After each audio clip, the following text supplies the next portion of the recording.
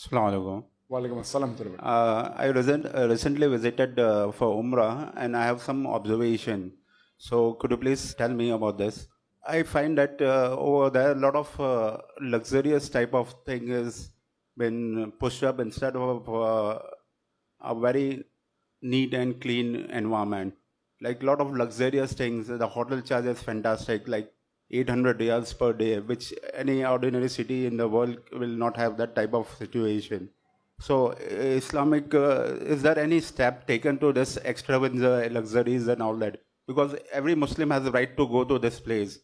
And uh, if the things are put to the right channel, uh, many people will take the advantage of this. Is there any concrete uh, attention is given to this issues? Because there is a lot of uh, extravagant expenses and other things which should be not there in a holy place like Mecca. And uh, even if you see uh, in India, there is a in any other religion they have a this thing Musafir Khana or a place where people can say a normal at very economical rates and all that. So why don't you put some uh, efforts to this? He was asked the question that when he went for Umrah, he found that the rates of per day in staying in hotels very exorbitant, 800 riyals, which is very high. Brother, let me tell you one thing. I do agree. The rates are only high during the season. During the month of Hajj, during Hajj period, it's very expensive, and during the month of Ramadan. These two are the only times when the rates escalate. Well, that's the time when more pilgrims come to the holy city of Makkah and Medina. Otherwise, in off season, it is one of the cheapest in the world. 800 riyal, what we're talking about the peak season. So the rates in hotels close to the Haram is one of the most expensive in the world and one of the cheapest in the world. 800 riyal is nothing. What we're talking about 800 riyal is about a five-star hotel.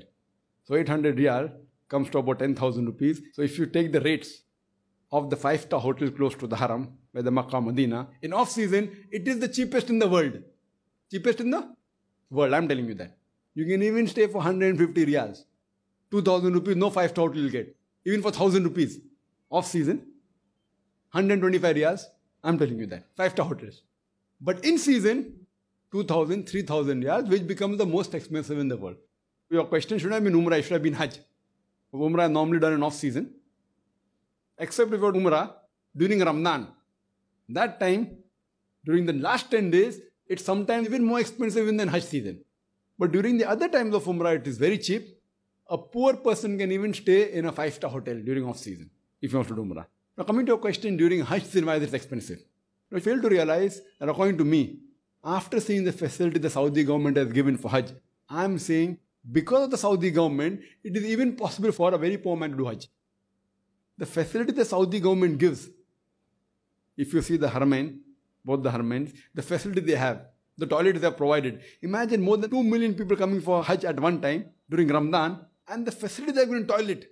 They have put Italian marble in toilet. Poor people don't get to live in Italian marble. In toilet, they have put Italian marble. They have got escalators. And they take only a few riyals. So as far as the airfare is concerned, number one, the government subsidizes airfare. Now because the Saudi government has subsidized the rate for the Saudi airlines, the other airlines for competition, they're forced to subsidize. So even the non-Muslim airlines are subsidizing now. Why? Because Saudi Arabia started that. So Saudi Arabians say that if you're coming for Umrah or for we give 25% discount. Sometimes they give 40% discount. Now because Saudi airline does that, the other airlines are forced to do it. So they aren't bothered about the Muslims. But if they don't do, then they lose business. So they say prefer let the rate come down and we have more flights. So they subsidize. Actually, they're making business. But if you normally have to go to Saudi Arabia, it will cost you 29,000 rupees. Normal fare up and down from Bombay. During Umrah and Hajj, it costs 21,000. Subsidized. One third. So first point number one, that fare is subsidized. Point number two, the facility given by government, the tax the government takes Umrah is negligible, that's subsidized. As far as staying is concerned, eating is very cheap. Eating, you will get all types of food, mashallah, very cheap. Pakistani food, this food, that food, fast food, everything. Now staying, what you're talking about the rates is the hotels very close to the haram, haramain. Now if your budget doesn't provide you, you take a hotel which is far. I know even during Hajj season, there are hotels which are costing 50 riyals a day. So whether you are staying close to the Haramain, whether five-star hotel or small hotel, even if you take close to the Haramain, the cost of the land is expensive. The cost of land is expensive. So even if it's not a five star hotel, it's expensive. If you stay in a hotel close to the haram, even if it's not five star, if it's not thousand riyal, it will at least be 400 riyals. You understand? Because the land is expensive. Now, why the land is expensive? Because it's close to the haram. So the moment a poor man, when he goes, he can very well take a hotel which is half a kilometer away or one kilometer. What's the problem? And the facility of the government is so good that you can spend the full day in haram without any problem. So we should thank the facilities given by the government that it is even possible for a poor man to perform Hajj. Otherwise, if there was no facilities, only the air ticket, because now you can do Hajj even 50,000 rupees. You understand? So only the air ticket cost about 20 or 30,000 with the airport tax 30,000. It's because of the package. So if you go in a group, if you go as an individual, it will be expensive. If you have the money, Allah has given you the money, you can go as an individual, stay in a five star. So there are trips going for Hajj for one month. So one month you're living, lodging, boarding, everything for 30,000 rupees is dirt cheap. 1,000 a day you're paying actually. For traveling internal, Jeddah to Makkah to Medina and back, where will you get? 1,000 a day. If you go to America and you want to spend 1,000 a day, when you go to the SOTC trips, they're so expensive. So if you compare that with the haram, for 30 days average, you are spending less than a thousand rupees. Sometimes you're spending 800 rupees, including traveling, including eating, including staying in a good hotel close to the haram. There are cheap tours which will cost you only hardly 600 rupees a day. Now 600 rupees a day for eating, staying and traveling is very cheap in a foreign country. It is mentioned in the Quran that when you are going for Hajj, when you are going for Hajj, you take some cloth in India which is not available there. You can very well take that cloth, sell it. And the government gives you permission. So while you're doing Hajj, many people do it free because they take stuff and they spend a few hours a day selling it and they recover the cost. People even make money. So that is no problem. So in Hajj, if you cannot afford it, you can even do business. You can take some material and sell it. Then many people do it. Many of the people, they get material. So these are the facilities given Allah subhanahu in the Quran and by the government. have to appreciate. Now to say that why do they charge doesn't make sense. Even a poor man can go. And there are more poor people coming for Hajj than rich people. More poor people are coming from different parts of the world.